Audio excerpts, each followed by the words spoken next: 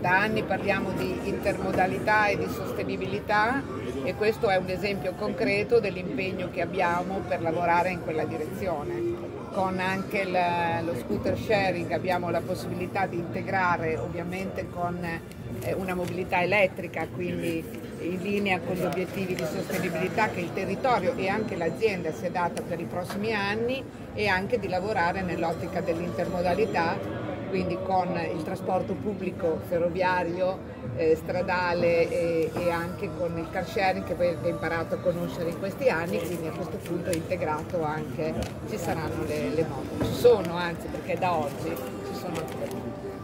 E dove si troveranno? Dove potranno trovare i piazzole?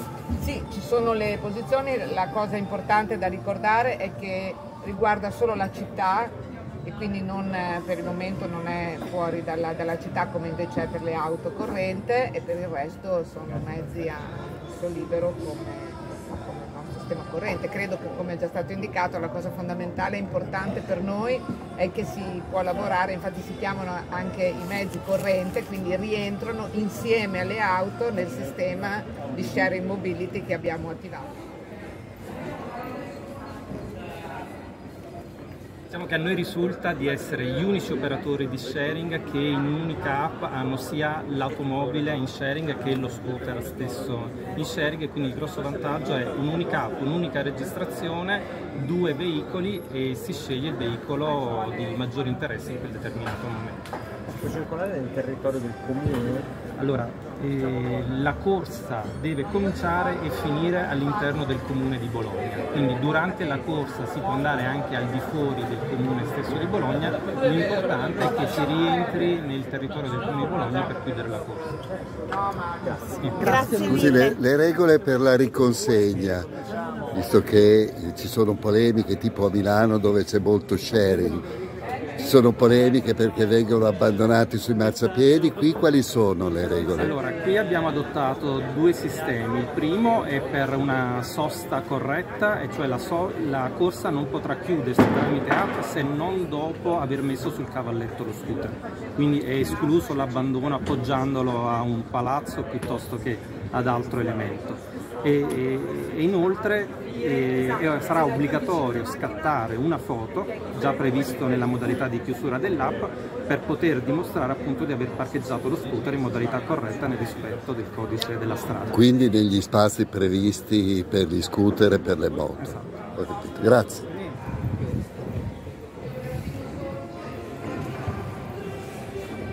anni fa sembrano un'era geologica, è cambiato tantissimo, oggi l'elettrico sicuramente di qualcosa di estremamente più metabolizzato.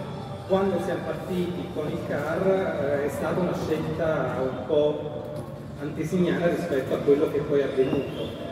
Ricordo che siamo partiti nell'ottobre del 2018, vuol dire che abbiamo cominciato tutta la fase di studio già nel 2016 e in quel momento anche i modelli di auto elettriche non erano poi così diffusi.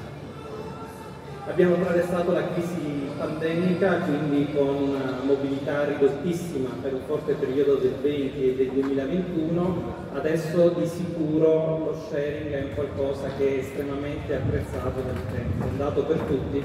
In questi quattro anni abbiamo percorso oltre 10 milioni di chilometri.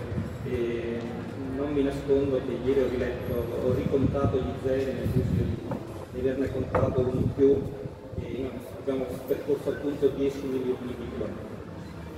La scelta quella di integrare sempre di più i mezzi in sharing ci ha portato ad aggiungere lo scooter elettrico e il grosso vantaggio è quello di poter gestire tutti i mezzi con un'unica app. Quindi ad oggi un utente iscritto a corrente da oggi pomeriggio potrà visualizzare tutti i veicoli elettrici car e scooter, quindi ovviamente poter fare anche eh, qualche scelta diversa ed eventualmente integrare sempre più le sue modalità di viaggio con il trasporto pubblico urbano. Aggiungo anche la possibilità di avere una maggiore possibilità di utilizzare l'auto che a seconda delle necessità possa essere di maggiore interesse, quindi utilizzare anche lo scooter magari per poter raggiungere un'auto più, più cara. La modalità è semplice come per quella delle auto, e cioè i nostri intenti non, non, non far nulla altro che guidare. Tramite app potranno visualizzare lo scooter più vicino e prenotarlo, avvicinarsi allo scooter e sbloccarlo.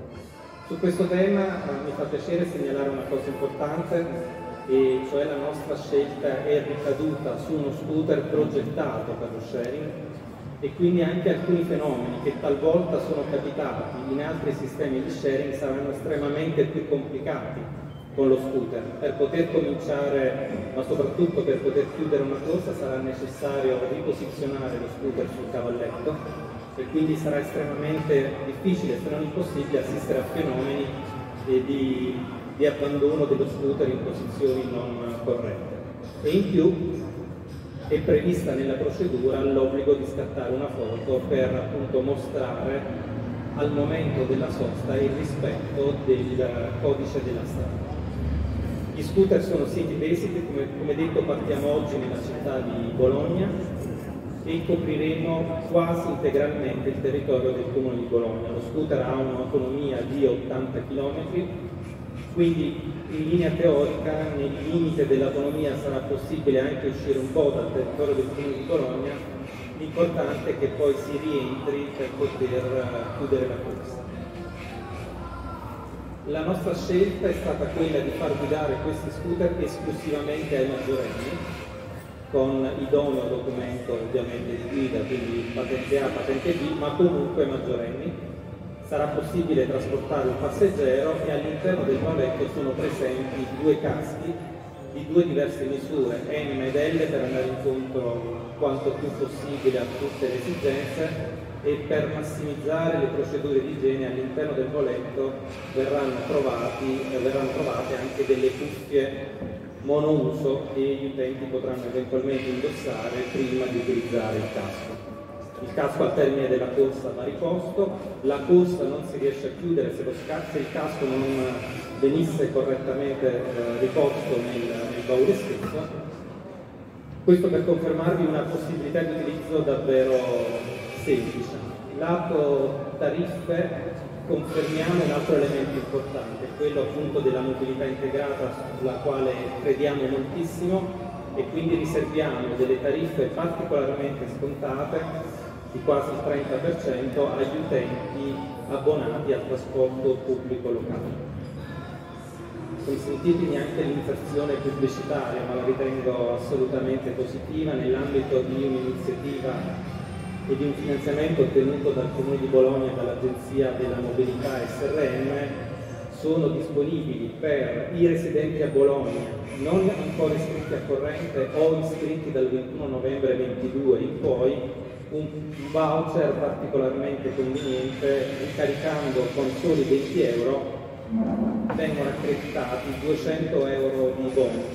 Per direttore Padillo per questo invito, molto importante per noi, entrare in una città nuova, Bologna, importante e, e con un'azienda che condivide molti valori eh, per quello che ho sentito esprimere dalle persone che hanno collaborato in questo progetto. L'essere visionari sicuramente è questo, il direttore che ti diceva prima, una visione sull'elettrico che partiva ben prima, insomma, l'attuale boom dell'elettrico.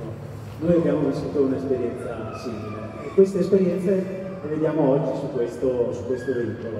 Eh, pensato per lo sharing sicuramente e dal nostro punto di vista un veicolo che è pensato per lo sharing deve avere due caratteristiche, ma ne aggiungerei una terza.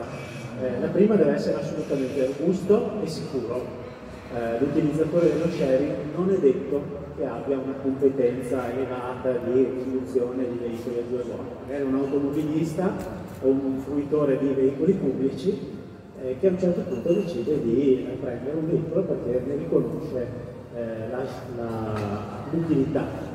Insieme alla sicurezza ci deve essere sicuramente anche la semplicità, la semplicità di utilizzo proprio perché talvolta abbiamo degli utenti eh, che non sono così esperti nella guida e quindi abbiamo fatto di tutto perché il veicolo sia facile anche a chi magari ha meno familiarità col veicolo. Facile per tutti i contesti cittadini, quindi le ruote grandi, le ruote da 16 sono un alleato importante per affrontare con assoluta sicurezza i pavè, i binari, insomma tutte le, le situazioni di utilizzo urbano che ci possono essere.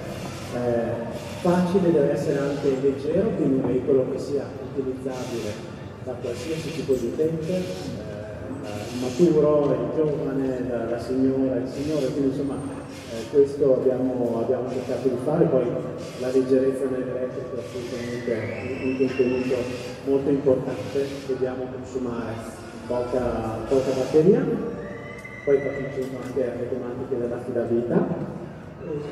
Queste due caratteristiche rendono i veicoli divertenti, che è la terza caratteristica, perché anche quando mi muovo in città con un veicolo che non è mio, se riesco a divertirmi sicuramente lo utilizzerò nuovamente con maggiore, maggiore probabilità.